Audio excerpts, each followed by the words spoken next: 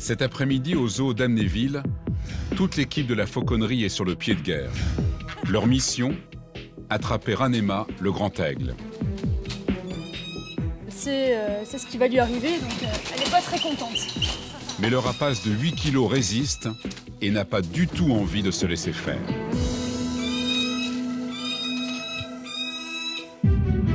C'est l'un des 2000 pensionnaires de ce zoo, l'un des plus grands d'Europe. Ours, fauves, reptiles, otaries, flamants roses, près de 360 espèces de tous les continents.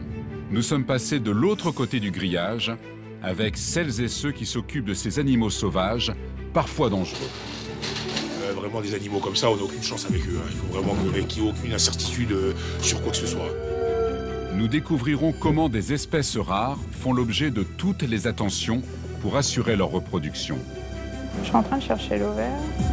Nous pénétrerons aussi dans les cuisines du zoo et ses frigos impressionnants. Ici, on va voir les poussins, les souris qu'on a en sachet. Ils s'appellent Juan, Stéphane, Vanessa, Philippe, Maeva et ensemble, ils font le zoo d'Amnéville.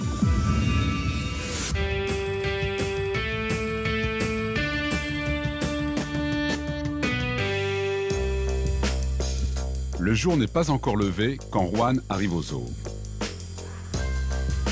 Il est responsable du pôle grand singe. Sa principale mission est de prendre soin de ses primates, mais surtout d'éviter des conflits entre ces animaux potentiellement dangereux. L'une de ses meilleures armes, c'est la nourriture.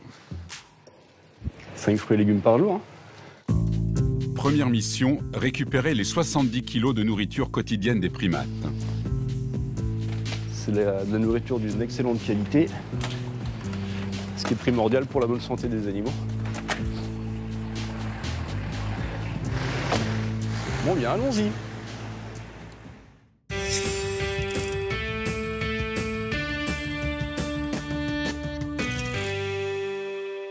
Mon premier stage en parc zoologique, c'était ici. Et je suis jamais reparti. Forcément, le fait de travailler en parc, c'est une espèce de retour à l'enfance ou euh, savoir ce que c'est de l'autre côté, comment ça fonctionne. Première fois où on est en charge d'un poste avec des animaux qui peuvent être dangereux, là, il faut avoir la tête un petit peu sur les épaules. Dans la journée, c'est une communication entre l'animal et nous qui est permanente. Parce que pour que ça puisse fonctionner, il faut que les animaux aient confiance en nous. On se sent forcément fasciné quand on est devant ce type d'animaux. euh, Il y a certes la, la partie soigneur animalier, mais il y a énormément de choses à faire. On travaille avec de l'humain, dans tous les sens du terme, avec du public, avec des soigneurs, avec des animaux. Et il faut que tout ça fonctionne.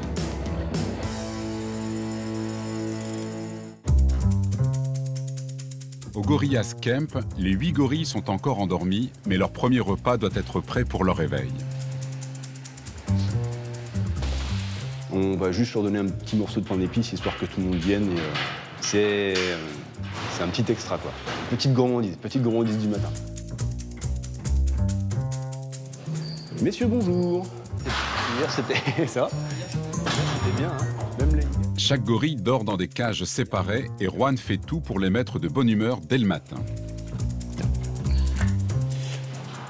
Ce monsieur, c'est Yakuenza, c'est le- c'est l'individu le plus âgé qu'on a ici, qui a 33 ans, Enfin, qui va avoir 33 ans, pardon, et toutes ses dents, et qui est super calme. C'est vraiment ça. Ça va, ça va, ça va. Mais ce matin, les gorilles sont très pressés de sortir de leur cage. Ouais, c'est un petit peu tendu quand même. hein. Bah, carotte, la dernière fois, ça avait bien marché. Pour éviter que les singes ne soient trop agressifs, Juan doit sans cesse trouver de nouvelles idées pour les occuper. Ce matin, il prépare ces drôles de jeux à base de carottes cachées dans des trous. Il appelle ça des enrichissements. Donc aujourd'hui, ce qu'on va faire, c'est qu'on va leur proposer des petits enrichissements relativement simples sur cela. Euh, donc c'est juste des troncs percés dans lesquels on va mettre de la nourriture et ils vont, devoir se, débrouiller pour les faire sortir avec euh, des outils. Ils vont fabriquer, enfin ils vont récupérer des bâtons pour euh, chercher la nourriture, ils vont essayer d'aspirer, enfin ils se débrouillent c'est important, comme l'environnement dans lequel ils évoluent est réduit par rapport au milieu naturel, il faut que nous, on fasse l'effort de se remettre en question pour leur proposer des choses nouvelles très régulièrement. Juan va installer les différents jeux dans cette serre tropicale de plus de 2000 mètres carrés. Son plus grand défi, c'est d'éviter les conflits, car dans cet espace restreint, les primates peuvent vite s'ennuyer et se bagarrer.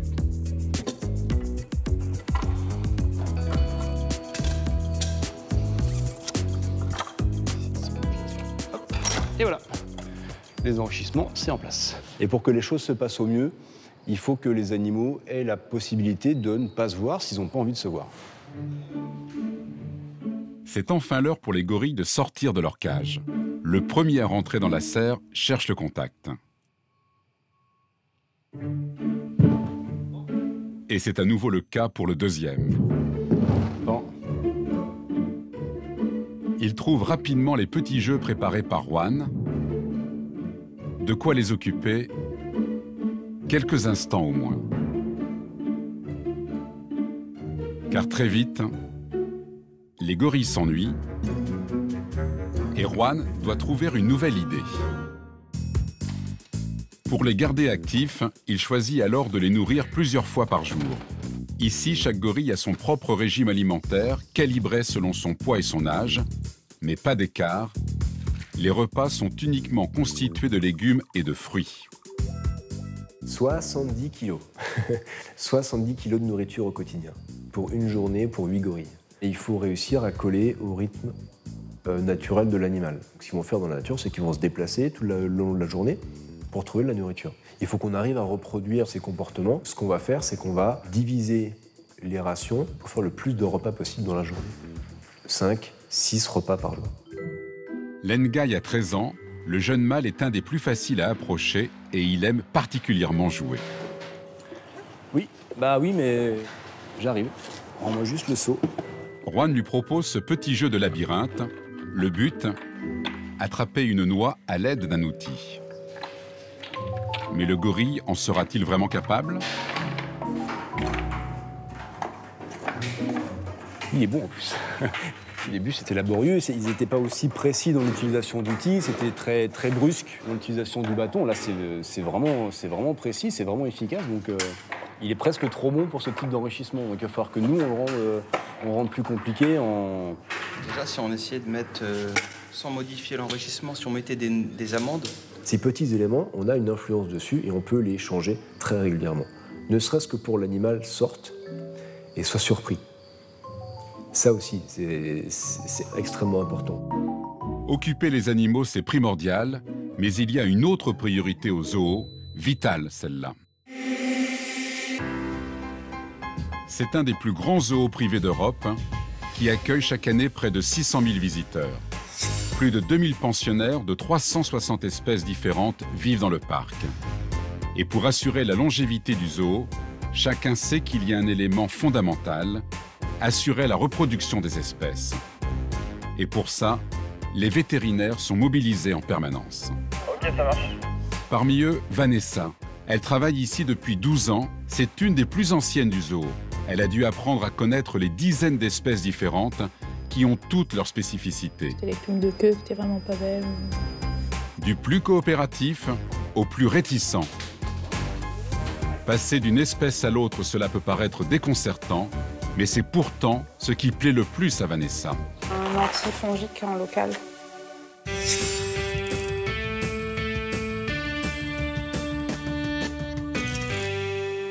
Tous les matins, on ne sait pas avec quelle espèce on va travailler pratiquement. C'est ça qui rend le boulot super intéressant. Et du coup, il n'y a aucune routine?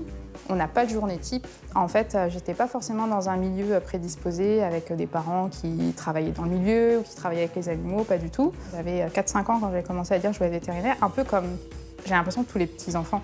Sauf que moi, je suis restée bloquée sur vétérinaire et j'ai toujours voulu faire ça. Voilà, je fais un métier qui me plaît et c'est quelque chose qui n'est pas donné à tout le monde aujourd'hui, de faire un métier tout simplement qui me plaît. C'est pas juste un métier, c'est une vocation et une passion, ce qui veut dire que oui, le week-end, euh, ça m'arrive de regarder des reportages animaliers. Oui, le week-end, ça m'arrive d'aller observer les animaux pendant mes vacances. Mais c'est pas une contrainte, c'est parce que c'est ce que c'est ce que j'aime en fait, c'est ce que j'aime faire quoi. Oh, Les otaries pour Vanessa, les otaries? La reproduction, c'est important pour la vie du parc, mais c'est aussi un signe de bonne santé des animaux. euh, voir Watson? Et ce matin, Ok, ça marche, bah, j'arrive dans 5 minutes. Vanessa espère apprendre une bonne nouvelle.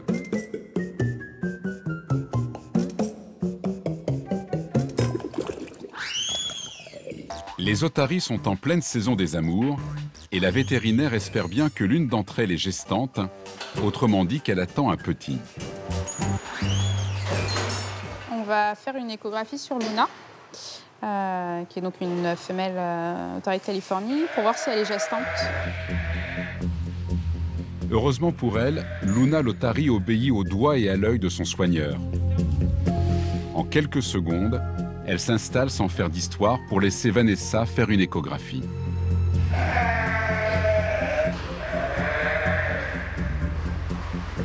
Hélas, l'examen ne montre pas de futur bébé.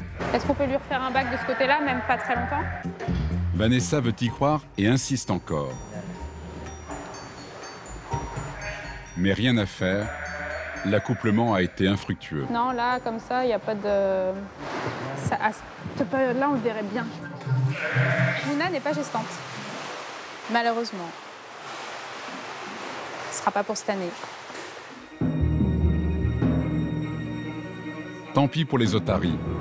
Mais la vétérinaire ne perd pas espoir. À quelques centaines de mètres de là, elle rend visite à un animal rare avec une idée en tête. Cette drôle de bête est une femelle tamandua, plus connue sous le nom de fourmilier. Yuti a 7 ans et Vanessa et son équipe l'ont placée avec un mâle en espérant que le miracle de la nature opère et qu'elle donne bientôt naissance à des petits fourmiliers. Et première bonne nouvelle, Yuti et son prétendant s'entendent plutôt bien. Pour le coup, elle s'est accouplée, donc super. Au moins, au niveau du comportement, ça va. Les animaux s'entendent bien, passent du temps ensemble, jouent ensemble, donc euh, voilà. Reste maintenant à savoir si l'accouplement a été fructueux. Yuti est un animal assez craintif et Vanessa sait qu'elle va devoir se faire accepter par la femelle avant de l'examiner avec un échographe. Pour l'instant, la vétérinaire se contente de l'appâter à l'aide de son plat favori, des grillons et de la pâte de fourmi. Je te touche le ventre. Je te mets du gel, c'est froid. hein. C'est très bien. Vanessa arrive à la toucher, mais la femelle ne reste pas assez longtemps. Bon là, c'est vrai qu'elle reste pas longtemps et le but c'est qu'on fasse ça régulièrement avec Aurélie pour euh, l'habituer à rester assez longtemps pour faire une échographie. Mais voilà, après c'est une question de temps, de patience. Il faut être patient en fait quand on travaille avec les animaux sauvages. Ah, avoir un bébé tamandua, ce serait juste super quoi. C'est super mignon, c'est un animal euh, qui n'est pas euh, beaucoup représenté. Donc on continue à travailler dessus et un petit bébé tamandua pour cette année, ce serait chouette. Yuti n'est pas encore assez en confiance. Vanessa va devoir revenir pour l'endormir et faire des examens afin de savoir si la fourmilier attend des petits.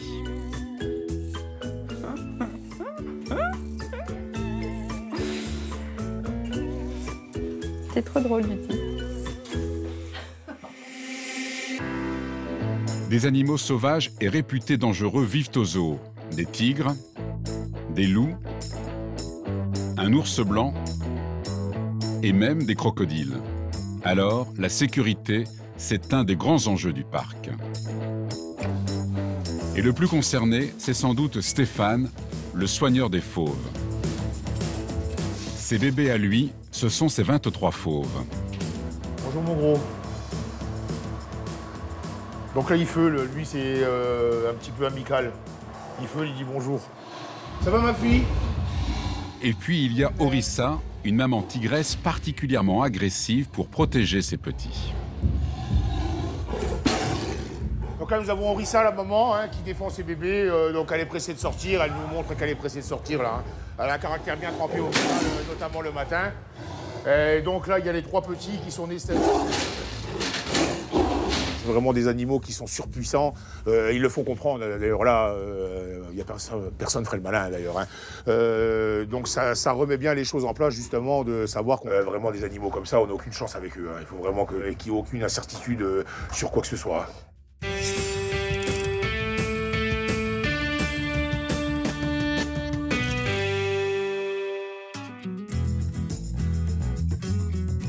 Dès mon plus jeune âge, quand je venais visiter en l'occurrence ce zoo tout petit, euh, j'étais déjà fasciné et pris en admiration devant les fauves, hein, les grands félins. Je m'entends redire, ça serait bien de travailler dans un endroit comme ça, euh, étant petit. Donc quelque part, quand je vois maintenant que je m'occupe des fauves et que je suis titulaire du poste ici, je suis très heureux de la situation euh, dans laquelle je me trouve et euh, je suis conscient également de la chance que j'ai eue euh, de pouvoir accéder euh, à ce travail.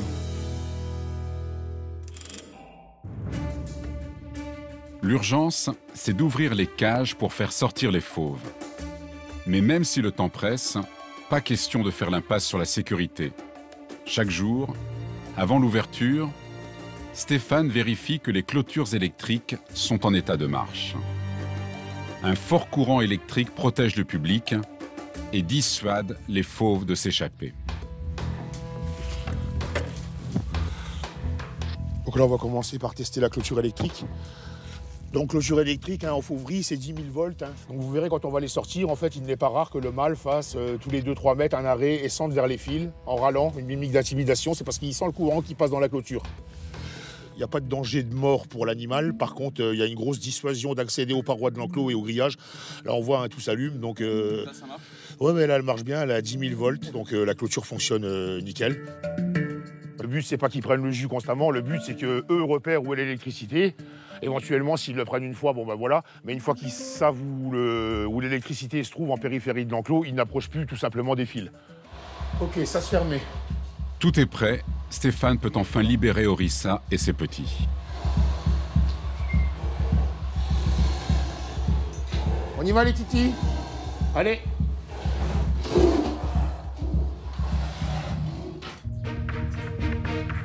Les tigres sont dehors et la course contre la montre continue.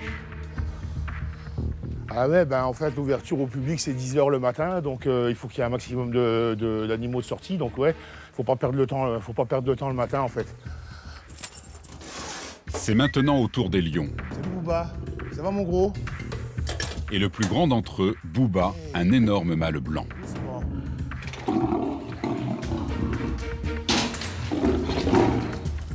C'est vraiment un animal qui est captivant.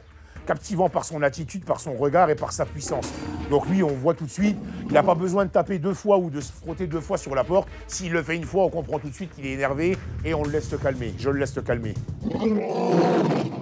Le lion a très envie de sortir, mais Stéphane préfère le laisser se calmer avant d'ouvrir la trappe pour qu'il rejoigne son groupe.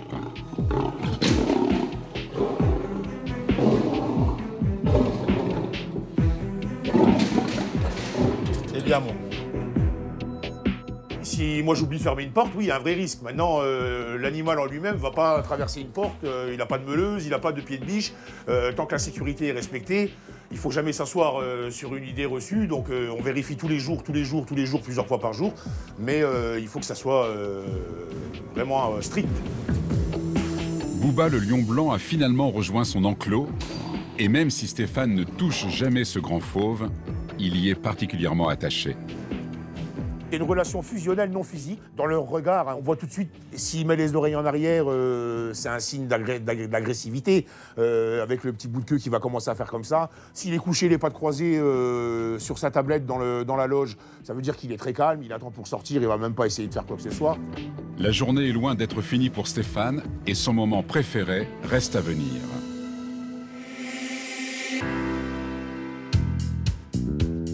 Il est 10 heures, le parc ouvre ses portes.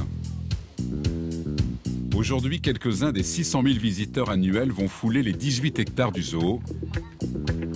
Et il vaut mieux avoir de bonnes chaussures, c'est tout de même l'équivalent de 25 terrains de football.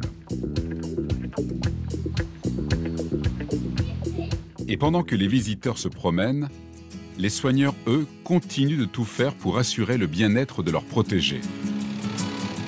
Nous retrouvons Juan qui vient d'avoir une nouvelle idée pour surprendre ces gorilles. Il a commandé spécialement pour eux un nouveau type de copeau de bois. Ce frison, comme il l'appelle, sert à la fabrication des nids des gorilles. C'est la même essence d'arbre, sauf que les- ces fibres-là sont euh, beaucoup plus larges. Euh, elles sont censées faire la même taille, mais elles sont juste plus larges. On va juste voir ce qu'ils font avec. Et on verra si, euh, ce qu'ils préfèrent.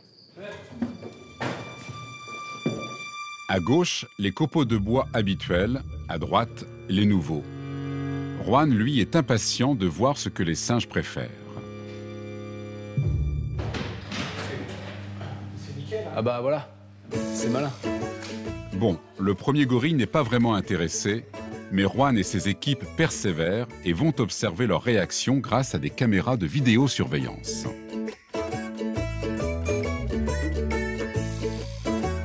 Et finalement, la petite nouveauté semble plaire aux gorilles.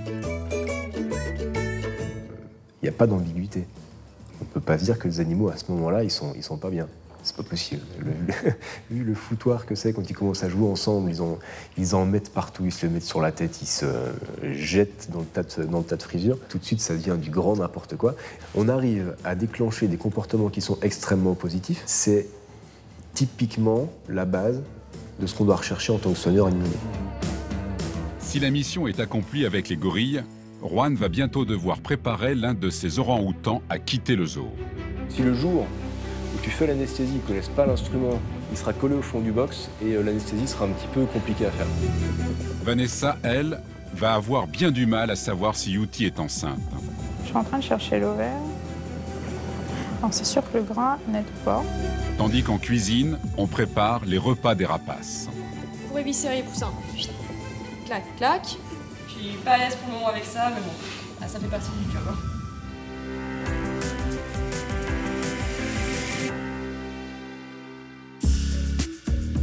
Dans les écuries du zoo, c'est un jour important.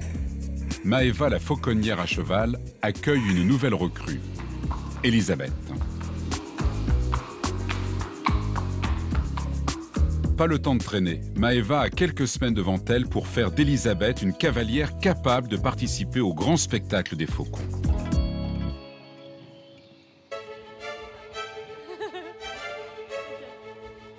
Alors, la jeune recrue est déjà en piste pour un entraînement. Tu poses, tu tapes au sol une fois, tu remontes, tu te remets en selle. Tu tapes et tu remontes. Voilà, essaye de garder, essaye de garder les jambes tendues.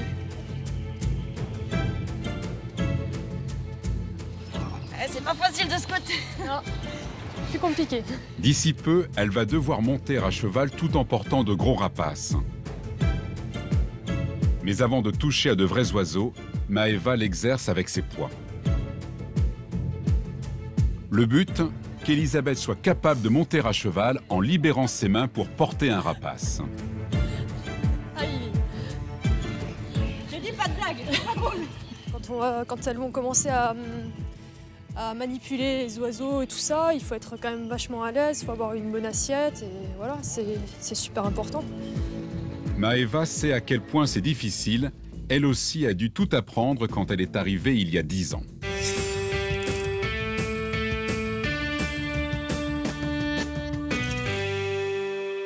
À la base, je suis vraiment dans, dans le spectacle équestre. Quand on a un public qui a le sourire, qui à la fin du spectacle vient nous voir, nous dit c'était super, c'était génial, merci, euh, on a vraiment adoré. Euh, ça c'est génial, c'est la, hum, la récompense. Quand on teste de nouvelles choses avec nos oiseaux et nos chevaux, et que ça fonctionne, qu'après on arrive à l'intégrer au spectacle, ça aussi c'est une, c'est une satisfaction.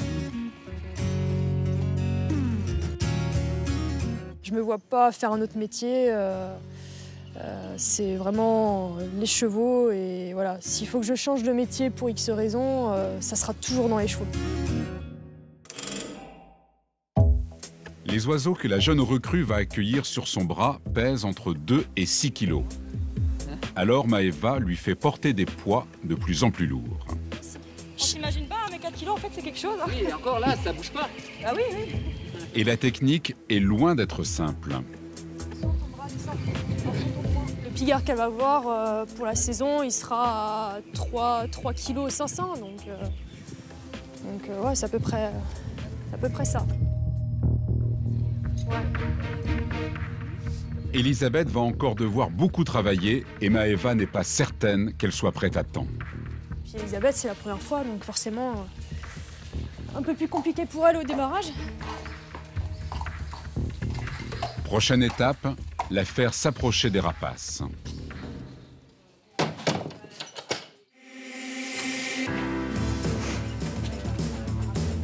Après les otaries et le fourmilier, Vanessa, la vétérinaire en charge des reproductions, a rendez-vous avec une patiente un peu particulière. Dans l'enclos des rhinocéros, elle retrouve Ina, le bébé rhinocéros né il y a six mois. Salut Comment ça va Oh, Alors, qu'est-ce que tu te fais Trop mignonne quand tu sors ta petite tête comme ça. C'est trop mignonne quand tu sors ta petite Mais ce qu'elle attend avec impatience, c'est l'arrivée d'un nouveau bébé rhinocéros. Tala, l'autre femelle, attend un petit et la naissance est pour bientôt. Derrière les barreaux, la femelle a l'air inoffensive, mais elle pèse plus de 2 tonnes et Vanessa doit prendre toutes ses précautions pour suivre sans risque cette grossesse. Quand on regarde Tala, elle a quand même une corne assez euh, pointue. Donc on va éviter de se mettre en position euh, danger et on va vraiment la faire venir contre les barreaux pour éviter que je mette mes bras euh, dans le box, que je rentre dans le box et je risque de me faire... euh, voilà, qu'elle puisse se retourner pour me faire mal. La peau de Tala est tellement épaisse qu'il est impossible de faire une échographie. Vanessa n'a qu'une solution pour savoir si la naissance est proche, lui faire une prise de sang. Ça reste quelque chose qui n'est pas sympa. Donc si ce matin elle n'a pas envie d'être piquée et qu'elle a une réaction par rapport à ça, voilà, moi il faut vraiment que je fasse attention au moment que je pique. Au moment où je pique, pardon, c'est voilà, faut pas, euh, faut y aller euh, tranquillement aussi quoi. Ça dans la poche, ça dans la poche. Salut ma grosse. Ça va Nanette? Ouais. J'essaye de lui parler euh, gentiment, doucement, pour qu'elle soit un peu euh, rassurée de ce qui va se passer. Heureusement, le soigneur de Tala connaît son point faible pour la calmer, de la luzerne. Tu es bien Nanette Oui, bah oui, ça, ça chatouille. On te ferait faire tout ce qu'on veut avec la luzerne. Donc en fait là je fais une prise de sang pour doser pardon, la progestérone, qui est une hormone de la, gestation, de la grossesse. Et en fait euh, on fait des prises de sang très régulièrement en fin de gestation parce que euh, la chute de cette hormone va nous annoncer la mise bas. Il y a un challenge avec ces animaux par rapport à la reproduction. Du coup, on s'est beaucoup investi, euh, l'équipe vétérinaire, avec ces animaux. Il faut dire que la gestation, c'est 17 mois aussi. Donc, entre le moment où on sait qu'elle est gestante et la mise bas, on a tout ce temps-là pour, pour, euh, pour euh, devenir hyper, hyper impatient. Les résultats diront bientôt si Tala va donner rapidement naissance à un petit. De l'autre côté du zoo, Stéphane, le soigneur des fauves, lui, n'a pas de temps à perdre. Donc là, on va à la cuisine, euh, plus particulièrement dans la salle à viande qui se trouve derrière. Pour Stéphane, c'est l'heure d'aller nourrir ses protégés. Chaque jour, les 23 fauves dévorent 50 kilos de viande. Et chacun a son menu bien à lui.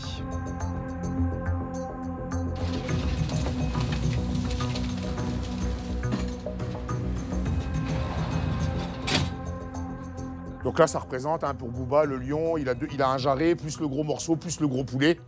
Et après, ainsi de suite, les petits ont deux poulets chacun, et voilà. À table, c'est parti.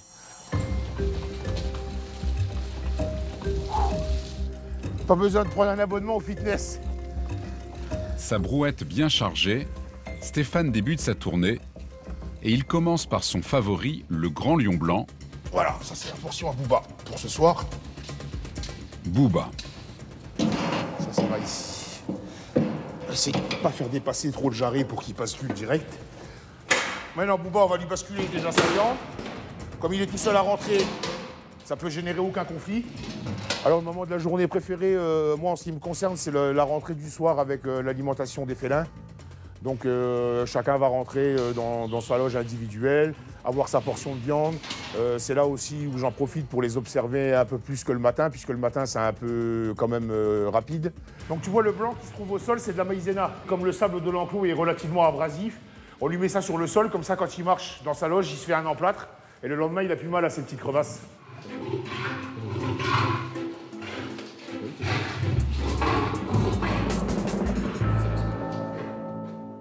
À l'autre bout du parc, il est temps pour la vétérinaire et son équipe de rejoindre Yuti, la femelle fourmilier.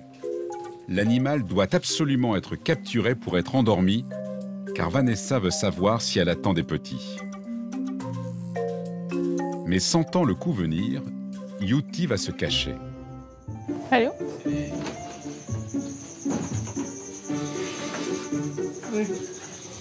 C'était prévu ce trou-là ou vous êtes aperçu qu'elle allait Non, dans... c'était pas prévu. C'était pas prévu.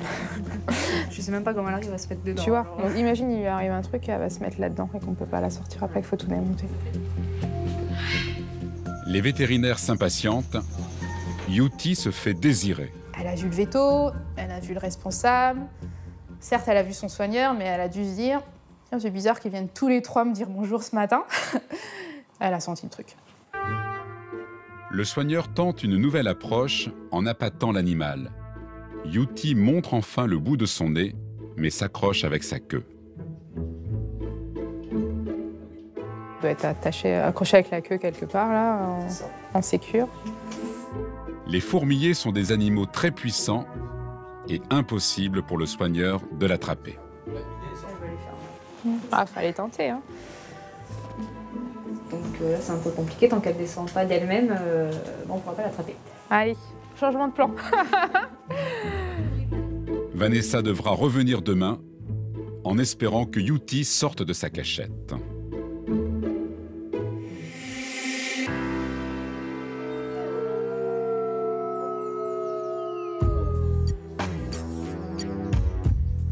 La nuit tombe et les visiteurs ont quitté le parc. C'est Sylvain, l'agent de sécurité, qui prend le relais et veillera sur les animaux toute la nuit. Car ici, certaines espèces sont particulièrement recherchées et pourraient attiser les convoitises. Ici, Sylvain a une vue sur tous les enclos du parc grâce à des dizaines de caméras de vidéosurveillance. Donc maintenant, on va aller fermer les bâtiments, des... bâtiments nus des animaux. Et on va aller faire une petite ronde pour voir si tout est bouclé. Chaque soir, Sylvain effectue plusieurs rondes qui doivent couvrir les 5 hectares du parc.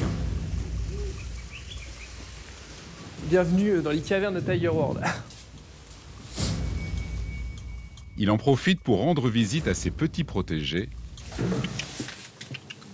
Gaspard et Noël, les guépards. C'est mes préférés. Bon là, ils sont un petit peu en mode révolte, mais... Euh... Sont, sinon, ils sont gentils. Puis ça me donne un petit sourire à chaque fois que je les croise. hein. Je trouve vraiment trop trop mignon. euh, c'est le félin élancé, vraiment taillé pour la vitesse. Je me reconnais un petit peu là-dedans. Ah, il va mettre un petit coup de patte là. Hein? Non. Voilà, on va, on va laisser tranquille. C'est pas donné à tout le monde. Hein. Tous les visiteurs sont partis, on est en pleine nature, les animaux. euh, Je changerai ma place pour rien au monde. hein. Et le veilleur de nuit ne se contente pas d'empêcher les intrusions, il doit aussi veiller sur certains animaux fragiles. Tala, la rhinocéros, devrait mettre bas dans peu de temps, et Sylvain doit garder un œil sur elle. Ce soir, on a justement une petite euh, requête euh, pour les rhinocéros. On a euh, donc Tala, la, future maman, qui est en surveillance jusqu'à son accouchement. On va surveiller son agitation et euh, si tout va bien pour elle durant ces prochains jours. Elle mange, aucun signe d'agitation. euh, Elle vit sa vie là. Là, il n'y a rien, euh, pas de problème. Pour l'instant, tout va bien. C'est l'heure de l'extinction des feux pour les 2000 animaux du zoo.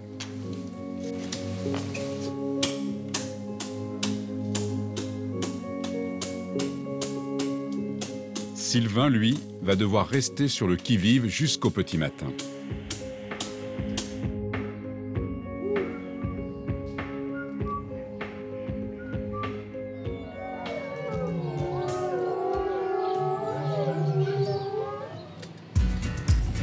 Il n'est pas encore 6 heures quand Philippe, lui, part faire les courses du zoo.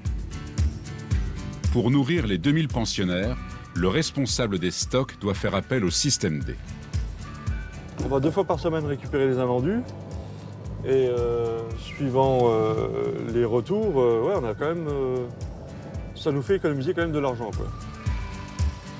Première étape, un grand supermarché de la région où il vient chercher des légumes. En forme En plus, on est à la flotte là. À la flotte À la flotte. Donc là, on a de l'endive, on a des épinards, on a du chou. si on donnait pas aux zoos, faudrait le jeter à la poubelle. Si on le jette à la poubelle, on trie pas, puis c'est pas très écolo, quoi. Avec le temps, Philippe est devenu un as du recyclage. Ah, franchement, ouais, c'est- c'est cool, deux fois par semaine. Deux fois par semaine. Donc, euh, des fois, il m'appelle, il me dit bah, écoute, là, j'ai pas grand chose, c'est pas la peine de venir. Et puis. Ouais. euh, Là, c'est depuis mardi. Ouais. Venu mardi matin. Ouais, mardi matin, je suis venu. C'est cool. Ouais, bonjour à la maison. ciao, ciao. Ciao.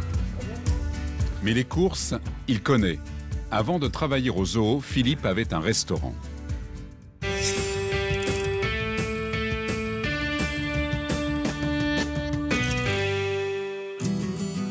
C'est un véritable choix parce que à la base, euh, c'est pas du tout mon métier. J'étais restaurateur pendant 20 ans à mon compte. Donc c'était un rêve d'enfant que j'avais de travailler dans un zoo. Et j'ai entendu dire qu'ils cherchaient un soigneur. Je suis venu me présenter. Et puis voilà. Ça fait maintenant depuis 2002 que je suis au zoo. J'ai appris sous le tas. J'ai appris vraiment sous le tas. On m'a appris, on m'a appris à travailler. Voilà, au fur et à mesure, je me suis euh, intégré et j'ai appris. J'ai appris plein de choses. On apprend toujours. hein. Chaque jour est différent. hein. C'est un métier où tu te lèves et tu te dis, Ah, moi j'ai de la chance, je vais passer une journée extraordinaire. La tournée continue dans une coopérative bio où il récupère de la germe de blé organique pour mélanger avec des vitamines.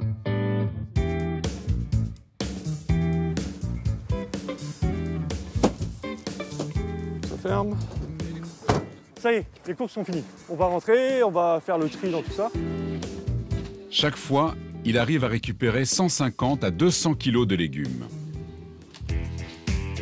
C'est une économie conséquente car chaque semaine, les 2000 pensionnaires du zoo consomment près de 2 tonnes de nourriture. Et chacun a un menu sur mesure. Voilà, donc ici, on a le tableau. On a le tableau de la semaine pour la fauverie. Donc là, par exemple, euh, on a euh, le lundi, les panthères de Perse. Le mâle va manger euh, 1,5 kg de poulet et là, la femelle va avoir du bœuf. On va gérer. Alors, ensuite, L'ancien restaurateur, lui, a gardé de vieux réflexes. donc on fait des cuissons aussi. Tu vois, on fait de la cuisson aussi. Comme, comme dans un restaurant. Là, regarde le beau pot-au-feu. Comme dans un vrai restaurant, à quelques exceptions près tout de même, car pour certains frigos, mieux vaut avoir l'estomac bien accroché. Ici, on va voir bah, les poussins, les souris qu'on a en sachet. Euh, on a de la caille. Pas au foie gras, mais bon. Euh, Les rats. Donc ça, c'est tout pour les petits carnivores. Pas sûr de vouloir manger demain matin, mais au petit-déj, mais ça va le faire. Alors, les calaos. 6 là. Dès qu'il le peut, Philippe quitte ses cuisines pour aller lui-même nourrir les animaux qu'il préfère. En particulier, les calaos. Non, il va se mettre en marche. Ouais. Une des grandes chances dans ce métier-là, c'est qu'on peut prendre le temps d'observer nos animaux. Oui, moi aussi je t'aime.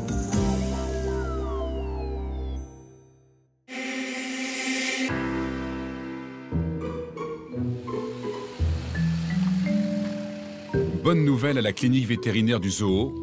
Yuti, la femelle fourmilier, est sortie de sa cachette. Ses soigneurs l'ont attrapée. Vanessa et son équipe vont enfin savoir si Yuti attend des petits. Faut pas réfléchir parce que la prise, non, si tu la prends dans les bras comme tu l'as prise et que je pique, elle va, elle va mordre ou griffer. Il faut d'abord endormir l'animal, mais Vanessa préfère se faire discrète et laisse faire son collègue Alexis. Avec Johanna, on préfère pas intervenir parce que c'est pas un moment sympa. Attention. Oui, c'est rien, c'est rien. C'est très bien. Très très bien. Je préfère euh, rester euh, quelqu'un de gentil à ses yeux. Comme après, on va essayer de travailler avec elle en entraînement. Euh, voilà. Donc c'est Alexis et Adeline qui passent pour les méchants vétos. Et après, euh, une fois qu'elle dormira, je pourrais lui faire plein de misère et elle s'en souviendra pas. L'anesthésie ne prend que quelques minutes pour faire effet.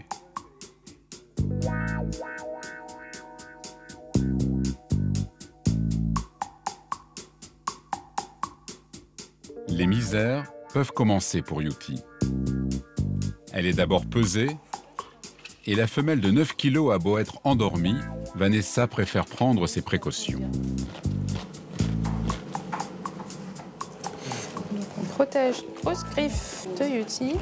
En fait, c'est hyper dangereux, les griffes. Alors, elle va dormir, il n'y a pas de souci, mais c'est. Voilà. En sécurité au cas où elle se réveille. Yuti est tellement lourde que Vanessa espère bien découvrir une bonne nouvelle en lui faisant passer une radio.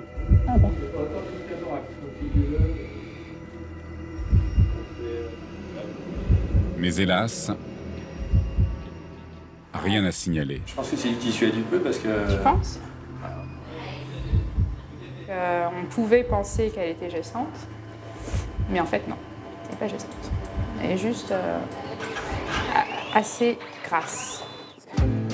Yuti reste un mystère pour Vanessa et ses collègues, car elle n'a jamais donné naissance à des petits. Ils décident donc d'entamer une nouvelle série d'examens. Il faut déblayer le terrain. Alexis, tu peux me passer l'aspirateur s'il te plaît Yuti est rasé de près. Ouais, c'est clair. Alors, Yuti, ça va être maintenant la prise de sang.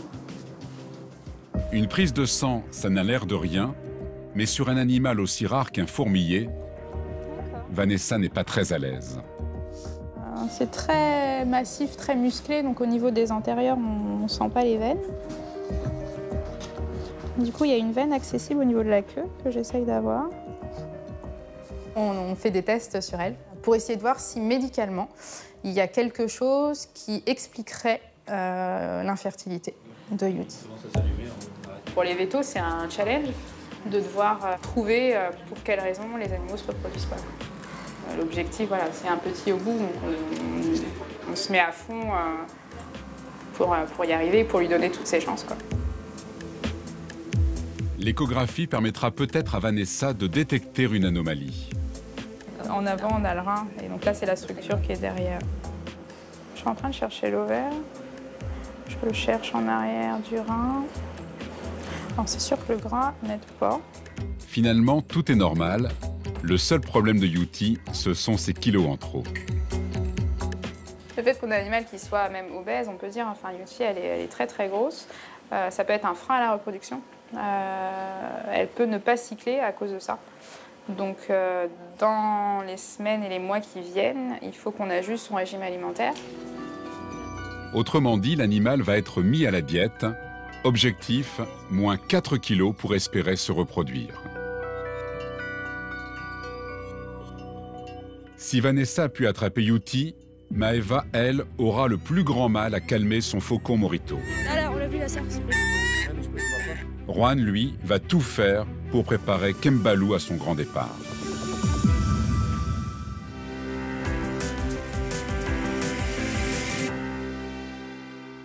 C'est un autre défi qui attend les équipes du zoo. Pour Maeva la fauconnière, c'est le branle-bas de combat. Là, on va sortir euh, Pigargue euh, de Stellaire. Aujourd'hui, elle doit sortir les oiseaux pour les faire voler, mais encore faut-il les attraper. Là, faut l'attraper parce que là, elle, a- elle sait, euh, sait ce qui va lui arriver, donc euh, elle n'est pas très contente. Et quand il s'agit du grand pigargue, l'aigle symbole des États-Unis, c'est loin d'être gagné.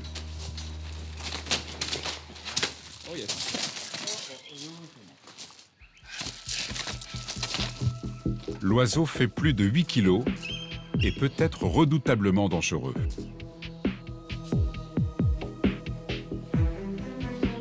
Euh, avec une lame Elisabeth, la jeune recrue, commence à se demander ce qu'elle fait là. Mais Maeva le sait, la peur est parfois nécessaire. Un peu d'appréhension de temps en temps, euh, voilà, parce qu'il ne faut pas, faut pas rester euh, sur ses acquis et se dire, ben, de toute façon, je crains rien, il n'y a pas de souci. euh. D'ailleurs, Maeva elle-même va faire les frais du mécontentement de son faucon Morito. Ces animaux ont des serres très puissantes et celui-ci les plante directement dans la main de Maeva.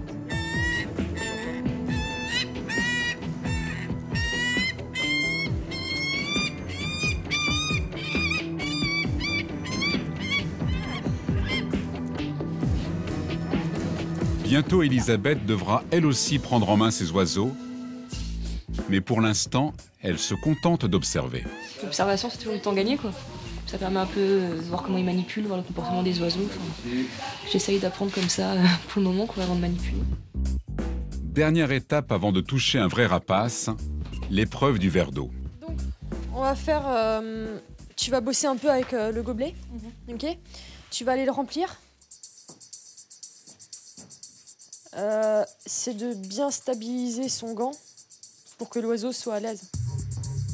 Elle doit se déplacer tout en gardant sa main immobile. L'exercice est plus difficile qu'il n'y paraît.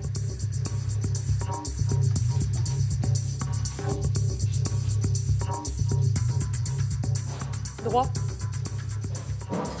bah oui, c'est de la triche.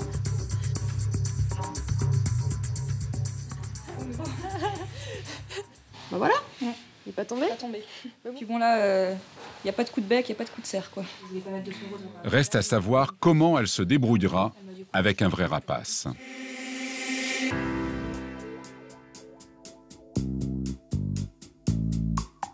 Dans la zone des grands singes, nous retrouvons Juan. Cette immense serre tropicale au hamac surdimensionné accueille un autre type de grand singe, des orang-outans.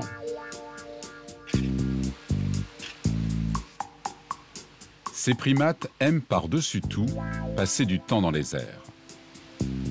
On a deux groupes d'orang-outans à Amnéville. On a un groupe reproducteur avec un mâle, une femelle et deux jeunes. Et on a deux demi-frères qui sont en cohabitation ensemble, qui s'appellent Kawan et Kembali. Kewen et Kembali ont beau être frères et avoir vécu ensemble pendant 12 ans, ils ont aujourd'hui beaucoup de mal à vivre en harmonie. La cohabitation de mâles orang-outans, c'est très compliqué. Et c'est même, ça a même une limite, c'est-à-dire qu'à un certain âge, on n'arrive plus à faire cohabiter les mâles ensemble. Donc on est vraiment à la limite de ce qu'on peut faire. Ça implique quoi? Ça implique que régulièrement, ils se chamaillent.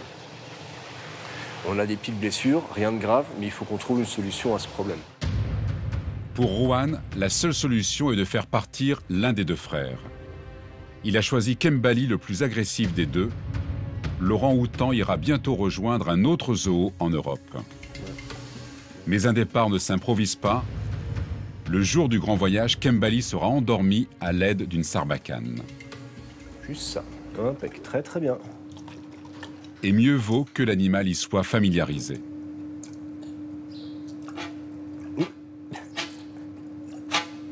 Si le jour où tu fais l'anesthésie, ils ne connaissent pas l'instrument, ou en tout cas ils s'en rappellent vaguement parce qu'ils ont déjà vécu une anesthésie et qu'ils se rappellent que c'est pas très très agréable, le jour où tu la sors, il sera collé au fond du box et euh, l'anesthésie sera un petit peu compliquée à faire. C'est pas mal. Alors, plusieurs fois par jour, Une dernière fois, puis après on va manger? Juan vient présenter l'objet à Kembali. C'est très bien, c'est impeccable. C'est très très bien. Ça c'est impeccable. La sarbacane est tout magnifique. En jouant, il lui explique dans le détail comment il sera utilisé. Donc il faut penser à tout ce qui peut se passer euh, au moment où l'utilisation va être faite et euh, confronter l'animal à tout ce qui peut se passer au moment où elle va être utilisée. Donc on peut faire du bruit avec, ça ne le perturbe pas plus que ça. Le fait maintenant d'être visé avec les sarbacanes, c'est quelque chose qu'il faut encore travailler.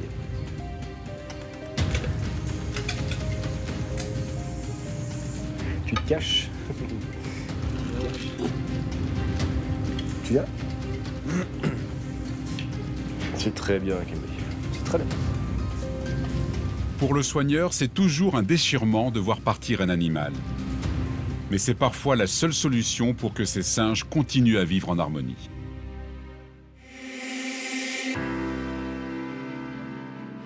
Du côté de la fauconnerie, c'est enfin le grand moment. Maeva va accompagner Elisabeth pour lui faire toucher son premier oiseau.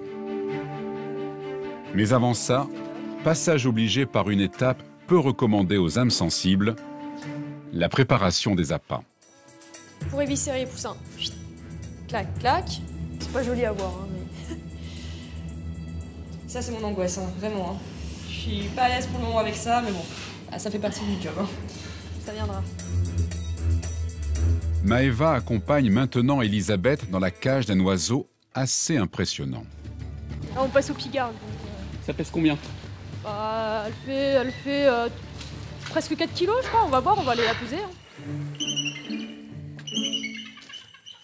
Première épreuve, l'aigle va devoir grimper sur son gant. Tu vas t'approcher tout doucement. Mhm. Si, si elle monte tout de suite sur ton gant, c'est pas grave, tu la reposes. Mais t'essayes de passer par en dessous pour prendre des jets directement. Ok. La manipulation est risquée car le moindre coup de bec peut avoir de graves conséquences.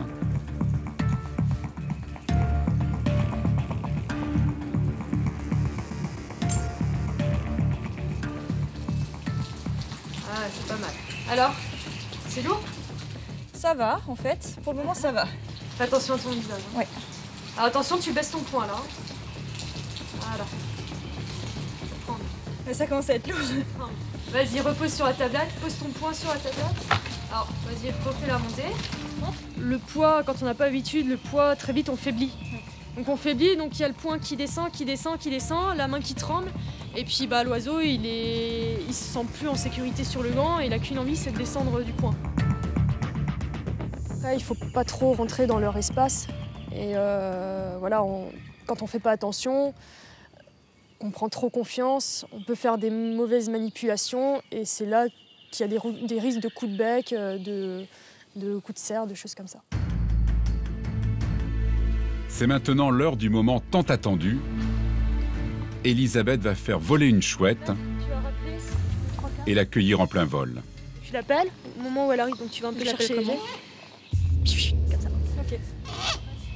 Maëva lui donne les tout derniers conseils. Et après, tu te tournes tranquillement et tu te mets face à Gaïd. Ok. Voilà, c'est pas grave. Elle s'est mal placée. Ouais, hein. elle est mal placée. Regarde-moi, regarde-moi. Fais gaffe, t'es comme ça.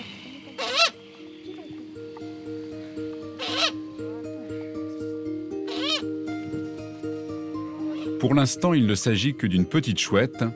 Dans quelques temps peut-être, elle saura en faire de même avec de gros oiseaux et deviendra aussi à l'aise que Maëva. Va pas la chercher vers le bas.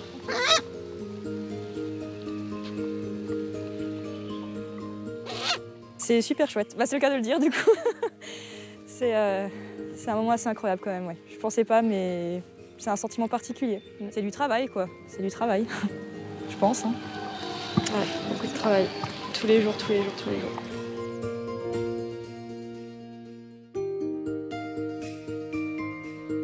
Finalement, après 15 mois de gestation, Tala a donné naissance à un petit, Timbo. De 40 kilos à la naissance, le bébé rhinocéros blanc devrait atteindre 2 tonnes, comme son papa. Une très bonne nouvelle pour cette espèce menacée, ils ne sont plus que 20 000 dans le monde. Ils s'appellent Philippe, Juan, Vanessa, Stéphane, Maëva. Ensemble, ils consacrent leur vie aux animaux du parc et ils font le zoo d'Amnéville.